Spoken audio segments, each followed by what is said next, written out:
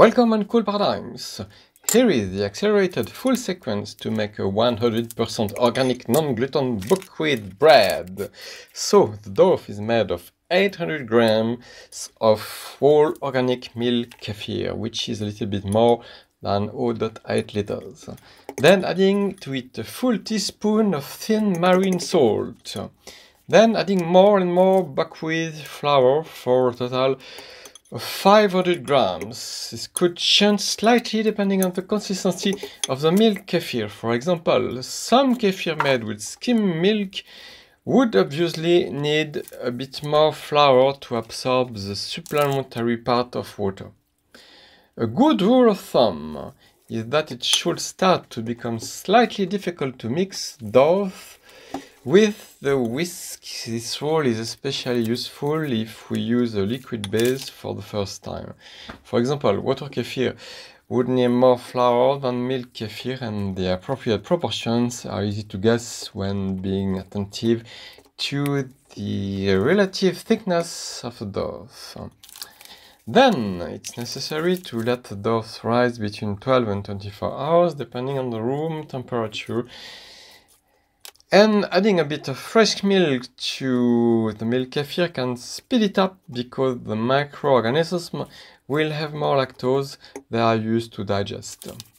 Once raised, we should be very careful not to disrupt the bubble structure because it's of course less resistant than with gluten breads and if the bubbles collapse on a thick enough layer maybe just a few millimeters, is going to seriously obstruct the heat diffusion and afterward the, the water evaporation, implying often an extra hard burned crust and a bottom of the bowl not cooked enough.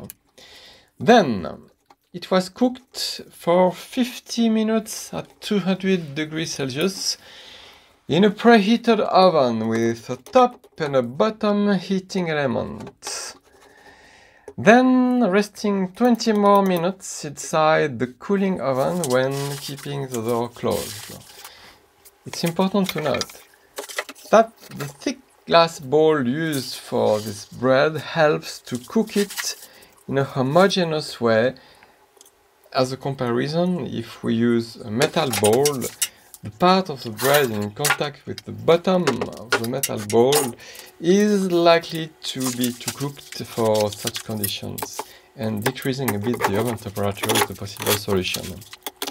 Once cooked, it's important to remove the bread from its bowl with a flexible knife uh, while it's still very hot. So it can evaporate a maximum of water. By the way, to avoid condensation on its support and favor more evaporation, it's better to support the cooling bread with a grid than with plate. It's important to note that the evaporation step is more important than with gluten bread because uh, non-gluten breads have generally more water because of, because of the more or less liquid dough.